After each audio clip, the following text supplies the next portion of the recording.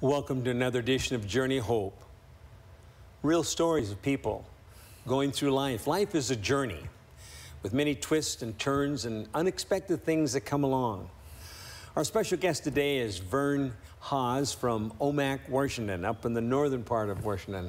Vern, we're glad you're here and able to take part in this journey of hope. And our listening audience from all around the world, they want to know a little bit about you. So, where are you from? Where were you raised? I was raised in a little town of Hartline, Washington, in Washington State. Uh, population of a little over 100 people. 100 people. Now, where is, Uh, where is that? This Where's is Harlan? 30 miles southwest of Grand Coulee Dam. Okay, that gives you a little my, bit of idea. My father had worked at Grand Coulee from 1934, right after it started, till uh, 1962 when he Did he help build was, it, or was he working there? He or- was a blacksmith at there. Working there. And, and worked there during that period of time. Okay, so you, Uh, did you grow up in Hartline then? or- yes, yes. All right. Went to school. I Went mean, to- 100 kids. I mean, 100 people in the in the city. Where'd you go to school? Uh, in Hartline uh, at the time. Now it's a com combined school, but I had one of the largest graduating classes that had ever gone through, and there was nine of us. Nine? it was a hard, Right. large graduate. Is that from the eighth grade? Yes, our, Yeah, from the eighth our, grade. Our uh, high school population was 30. Really? now, did you go to high school there also? Yes. Okay. Well, you tell me something very interesting. That's something that started really early in your life, about the age of six. When I was in the sixth grade, uh, I, uh, we were not uh, a well-to-do family, so I was always out working uh, where I could and whatnot. And they had a position to take care of the local cemetery, which was basically watering and, and mowing weeds. You're talking about the cemetery, and the grounds. Yes, and so I started doing that, and uh, uh, before long I was digging graves and, and what, whatever else needed to be done. And are you And talking about it again in Hartline here? This, this was at Hartline, about a half a mile uh, west of, or east of town. Okay. And so uh, I decided back early that uh, I wanted to be a funeral director and drive one of those big funeral coaches and, and cars. And so uh, that was my goal from This that is the, point the on. sixth grade. You began working. I mean, I've worked a lot of different jobs, but I never ever worked in a in a cemetery. And you were maintaining the grounds and occasionally got involved in actually digging digging for the graves. right. Is that a, yeah, is that opening and closing the so graves. at a very early age, you had this burden and a kind of a vision that you wanted to become a, a funeral director. So Right. what happened? As soon as I graduated from high school, the requirements at that time was two years of college, two years of apprenticeship, and nine months, which has now been changed to at least one year, of mortuary school. So um, I immediately went to Spokane and uh, went to school at Eastern Washington College just out of Spokane. Uh, Now, what was were you studying at this point?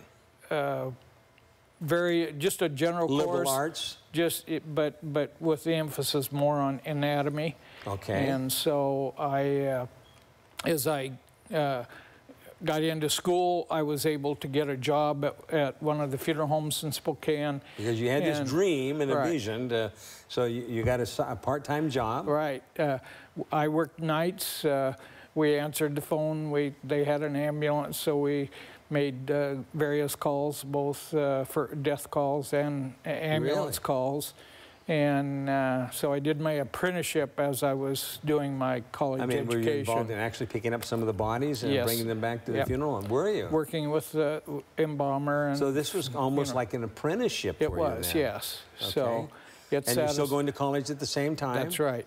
This is a But I was part-time job. basically working nights uh, working nights for there? the funeral home. Okay. Uh, as soon as I had my two years of apprenticeship uh, uh, finished and, and my college, uh, I went away to Cincinnati to Cincinnati College of Mortuary Science. so is that one of the main places in the country, or that's where you It was one of the main places for, for mortuary school. Cincinnati, Ohio. Yes. Okay. And uh, completed my nine months of school there, came back home and came back to the same funeral home actually, and worked for them for a couple, three years. And that's, is that where near Spokane now? In Spokane, In nor- Spokane, north end right, of Spokane. Okay. All right. So And what were you Uh, doing there at that point? Were you like an assistant director or?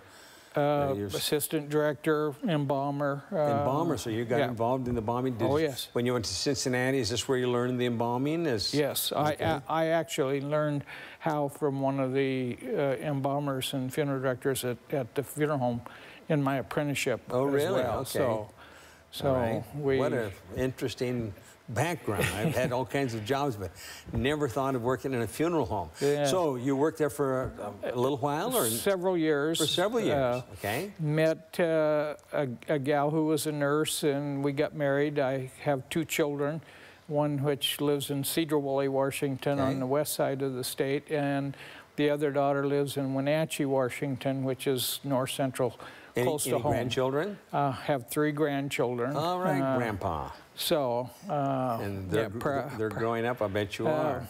And you're living in Omak, and, and for our I'm- listening audience, where's Omak at? Omak is only 40 miles south of the Canadian border, directly north of, of uh, Wenatchee, 100 miles. Okay. So it's dead, pretty well dead center of the state. So you got So- Mm-hmm. married, you're in the funeral business. Where are you living at this point now? Uh, I worked at several funeral homes uh, across the state, one in Toppenish, also another one in Stanwood. And then while I was in Stanwood, uh, uh, I went into the, with the urging of a couple people, I went into the insurance business and sold insurance for 22 years. Now, were you still working in the funeral home? No. I, So for one, for a while, for several years, you're working the funeral business, and then you back off and you get into insurance. Were you selling Right. life insurance? Life and health. Life and health. Well, I guess if you're working in the mortuary for a while, then life, life insurance and health insurance is a good follow-up. So how many years Uh, did you do that? Um, a total of probably about 20 years, Okay. uh, 22 years in the insurance. And I where were, used you to joke where were you living at this point? uh, in Mount Vernon, Washington. Okay, now you told me that you went through a divorce somewhere along the line. yes, uh, that was when I moved back to Eastern Washington and to Omak. Okay. And, Is this uh, after that the was- 20 years of insurance? Yes, Okay. yes. So- And when I moved back to Omak, I went back in the funeral business and worked in the funeral business again for another 10 years. And were you single uh, at this time? Uh, no, uh, within a couple of years, uh, I married uh, a, a lady I had met, and, uh, And how did you meet her? I had uh, had the services for her second husband who passed away. That's what I thought. And- so and, you uh, were involved in services for her husband Yes. who passed away, and that's how you kind of got acquainted Right. and fell in love eventually. Uh, yeah, well, it was almost love at first sight, but being professional, I tried to stay away from that type of situation. Uh, and uh, actually, and she f- had feelings the same way because after we were married, she made the comment that that uh, she made several excuses to come into the funeral home to pay her bill or whatever Just so she could see you. She could see me. well, so, nice looking yeah. guy and very So- friendly. And so, anyway, you ended up getting married. We were married. And uh, then what happened? We- You've we- been married for a number of years. we lived there for uh, over 20 years. okay. Uh, and about uh, 17 years uh, after we got married, uh, I decided to semi-retire. We went to uh, a company making RV guest guides and maps for RV parks, and that was something she could participate with me. She also had helped, uh, you know, uh, in funerals, conducting the funerals and directing people And assisting around, you. you know, so as uh, under my supervision. then you told me so- she had some kind of an illness. she, she in 2005 uh, started uh, falling over backwards and whatnot. We took her Losing to the doctor, her balance? lost her balance, and was having more and more trouble speaking. And we took her to a total of seven doctors. Uh, the seventh doctor was able to diagnose her We went through disease. six doctors, and they weren't able to really pinpoint what the problem was. Right. So what did the seventh one say? The seventh one said she had progressive supranuclear palsy, which is a palsy. I've never form, even a heard form of of. Parkinson's type. It's a type yeah. of Parkinson's. Yeah. Okay. Did it uh, come he- on quickly, or No, it, it had been coming on since 2005. Okay. And he diagnosed it in February of uh, 2009. four years later? And- right. Okay. And then uh, she passed away in, in September Uh, Oh, my. actually, so she was actually not- diagnosed, and just a few months later, she Yeah. passed away. So Yeah. uh, she, she had some of the similar symptoms of palsy and. Uh, not so much shaking or anything, but but just the uh, falling over backwards or her her like she couldn't walk over four or five feet. And Motor her, skills were- her legs would buckle on her. Okay. And then of course she was having a hard time swallowing. That's the the the balance and the swallowing are the two big signs. Now, what were you doing? Were you back in the in the in the funeral business at this point? No, we had uh, uh, seven years before she started coming down with this. Uh, we actually had started doing the RV guest guides Okay. and had did that across the state of Washington, uh, one park in Oregon and one in Idaho. and then uh, after we uh, retired, we went to Alaska to visit uh, uh, two of her children and, and three grandkids. And that's when we first noticed it That because was she started started falling. Some of the So, symptoms were yeah. showing up. My, So that must have been pretty but, tough. Yeah. So we we tried to go back again in 2007 because her first grandson was graduating from high school and and one of the first kids in the family to graduate from she- high school and so She wanted to be there for uh, that. She wanted to go for that. We made it about a little over halfway up and she just she got so sick we wound up turning home, around and coming back home. Oh. That's too bad. so uh, So once she was But- diagnosed, she ran rather quickly then. uh, yeah, in, over a four-year period. Yeah. Well, yeah, over. She hadn't been yeah, diagnosed, but for that right, period of time, yeah, So, that's that's too bad. uh, and then uh, we, uh, I started uh, at shortly after that. I started coming down to Quartzsite, Arizona, in the winter with some good friends that uh, were from up there. Now, Quartzsite's out in the middle of nowhere. It's about It's- 200 miles here from Loma Linda. Yeah, 200 But miles what? east. Tell me about Quartzsite. Well, Quartzsite is a, is a small community of about 3,400 people, but during the wintertime, particularly in January and February, they have big RV show, big gem show and whatnot.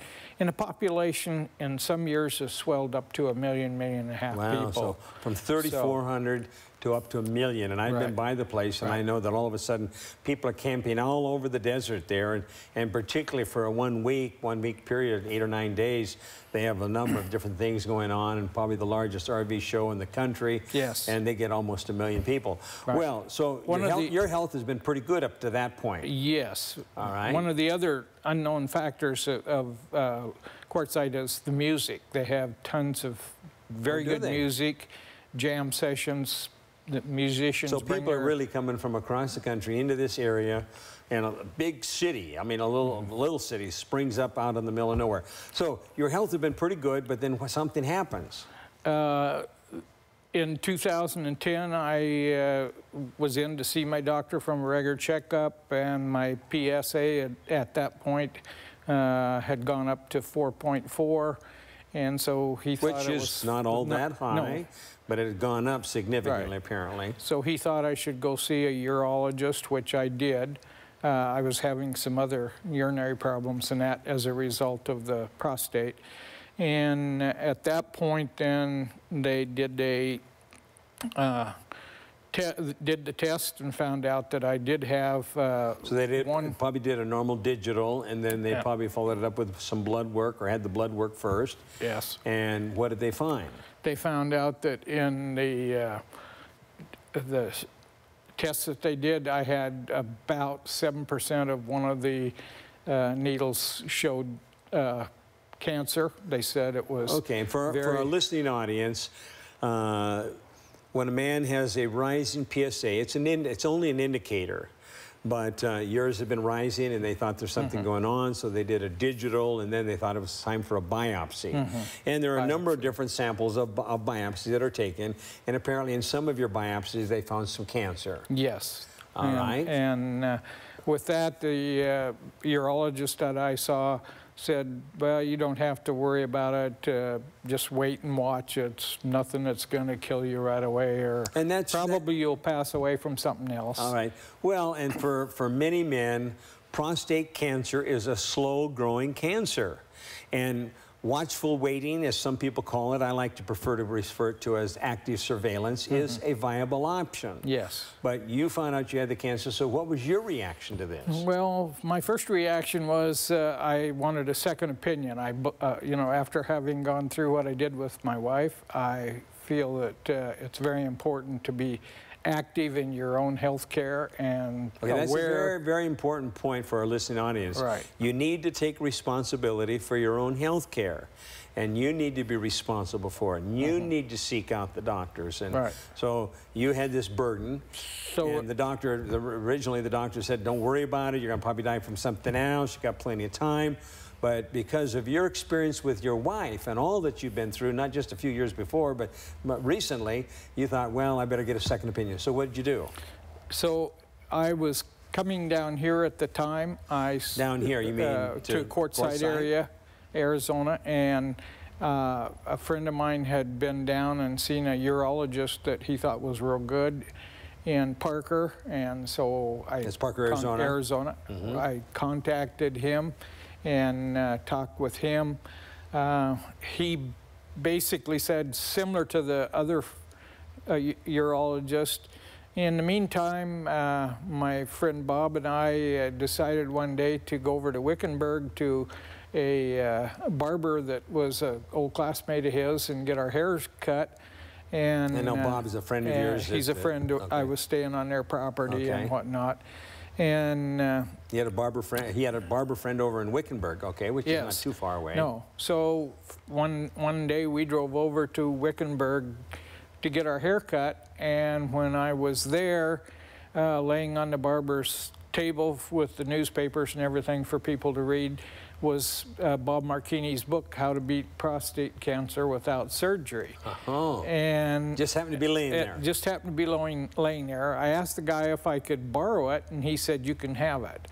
And about the same time, I had, in my Christmas letter, had put a uh, one sentence or two in that I'd been diagnosed with prostate cancer and it was nothing serious and And whatnot. this is a letter that went out to family and yeah, friends. Okay. And one of the friends that I had met and, and made was a fellow from Walla Walla, Washington, that was a manager of the uh, RV park that we did there.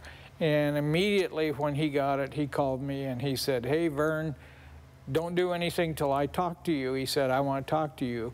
And he had been treated here uh, just six, eight months So he before. had come to so- Loma Linda and Yes. had been treated for prostate Right. cancer, and he gets this newsletter and said, "Vern, don't do anything." Right. Okay. And then did he did he So, talk to you on the phone or come over well, and talk to you? Well, or- we talked a little bit, but he at the time was visiting his son over in Mesa, Arizona, near Phoenix, and so I drove over one day and, and we talked, and and uh, and in the meantime, I'd had a chance to read Marckini's book. And so it was a no-brainer, as I say, uh, to come to Loma Linda. I contacted Loma Linda, and one of the problems that I was having with my prostate was it was very enlarged. It was at 140 grams. That's and, very large. uh, normal prostate. prostate's 20 to 25. Right. So you're three, four, uh, five times as much. they said that uh, they would like to see me, but uh, I needed to do something to reduce the size of my prostate. So my urologist put me on uh, and Flomax, and a year later, uh, I was able to get the size down to 100. And two days after I uh, had seen him and got the report back from him, I immediately was in contact with Loma Linda. So you took a couple of these medications that helped with the flow, and also it reduced the size of the prostate. Yes. So as soon as it got down to a reasonable, manageable size, you called Loma Linda. Right. Then did you get a packet? I or- got a packet from him. I, I had some information previously because I had talked to him earlier, and uh, uh, I felt that uh, you know somebody was guiding me. The good Lord was guiding me uh, along Well, those directions. this is a religious institution, as you know. It's a Seventh-day Adventist institution. right. And we've been in the, we're in the healing ministry. We have hospitals and medical clinics all around the world. So anyway, you got the packet, then you came Okay. down here. I- and so yeah. They- what, what did you do during your treatment? Well, Im- immediately they, uh, I could have been in treatment or in for a consultation within uh, a week, and and it took me a couple weeks to get my place winterized in Washington because of the cold weather Sure. up there and whatnot. So, but I. Uh, So this was the month of November, December then, a few Uh, years ago. No, I, it was actually first part of October. First part of October. when I found it. So I was I was here by the 9th or 10th of October, I think it was, Okay. and then and I had my consult, and uh, I was extremely impressed with the doctor at the time because he went over the different options with me.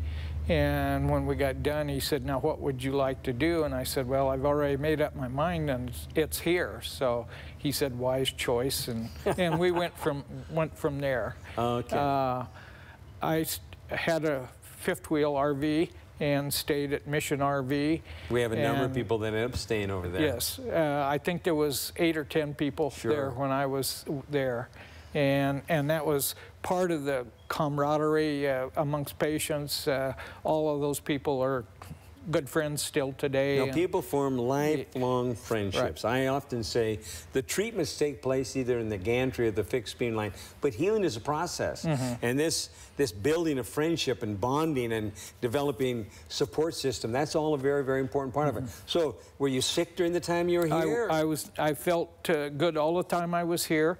Actually, better better by the time I left than I actually when I arrived. Uh, every day I was out doing something. Uh, went went to some air museums, uh, the big San Bernardino Museum. even though you were sick?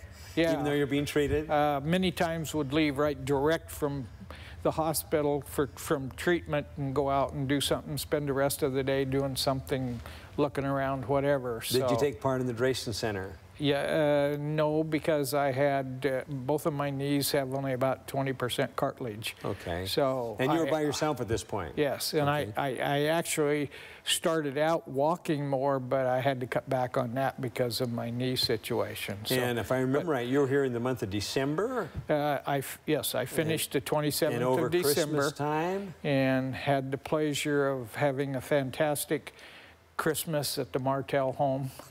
and Yes, well, this is going to be our 15th year. And uh, the biggest year we've ever had was 85. And uh, every year we get Christmas cards from people that were there. But we're, we're really glad that uh, you're able to be there and take part. But now, since you've left, and since this is a number a few years ago, since you left, you've been very actively involved in helping others discover about prostate cancer. What have you been doing? One of my goals when I left was to see that as many people as I could uh, tell and, and inform to have proton treatment.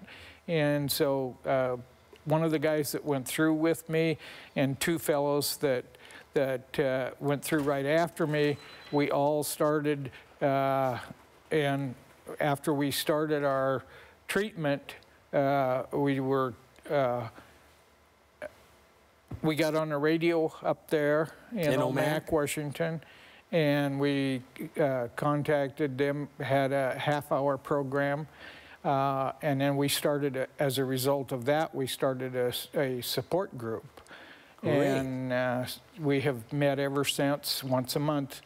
Uh, in the morning for breakfast, one morning of, of the month. Well, And- now you were telling me you were even on a radio program talking about the work Pros- that happened on here at Loma Linda and Yes, sharing yes. some. What happened? uh, as a result of that, we had people contact us, and uh, and so we've, like I say, our support group now, uh, we have uh, posters in some of the medical clinics, and and everything, and so we've we've really done st- a lot of. Uh, Oh, that's that's Reaching wonderful. out to we, We really appreciate that. so- That's one of the things we're trying to get started now is little what we're calling pods Mm-hmm. all across the country. We have people from around the world, but particularly we're looking at this country here where we've had former patients that kind of get together and, and develop a fellowship and stay in contact with one another and with the institution. Mm-hmm. And uh, as a result, they're able to bring other people that have been recently diagnosed with cancer, not only prostate cancer, but other kinds of cancer, and put them in touch here with the institution.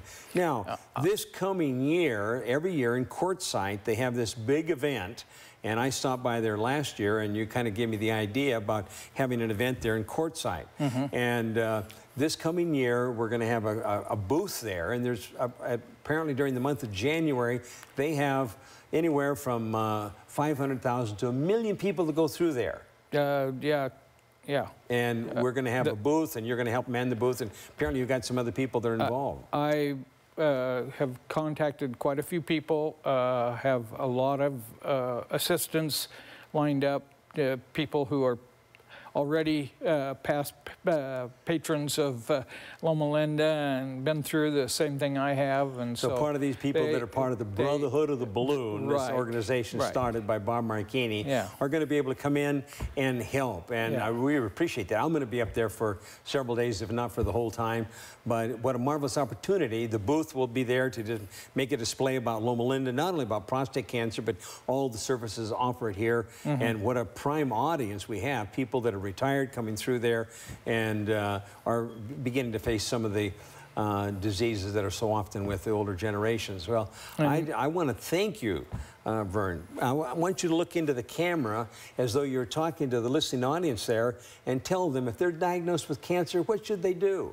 First of all, it's not a death sentence, it's a diagnosis. but tell them what to do. It's not a death sentence. The first thing you should do would be to call Loma Linda and find out what you need to do to, to come down here for treatment and, and uh, look at it. Uh, since I have been treated, uh, I am now married. I got married last uh, December to a nice lady I met, and so it's One of the it's good changed my life. One of the good things Yes. that come about as a result of coming to Loma Linda, being treated, and you got an extension in your life and a whole new outlook. Vern, I want to thank you for your part in helping us here at Loma Linda and looking forward to working together with you. And, you know, for our listening audience, uh, one of the things we want to always tell people that have been diagnosed with cancer, get a second opinion. You know, Definitely. talk to other people have had the same kind of disease, see what they did. And uh, for the listening audience, for those of you this week you may have heard some bad news, and I want you to know that God's got a plan for your life. And when you find out you have cancer, generally it's a diagnosis, not a death sentence. And I want you to realize that God's got a plan for your life. There's a wonderful text in Ephesians that said that God is able to do, do, do, uh, do- above and beyond what you think or dare believe is possible. He's got a plan for your life. If you'll give him an opportunity, he'll open closed doors. And like Vern, an extension of life, wonderful plans for the future. Until next time, God bless you each one.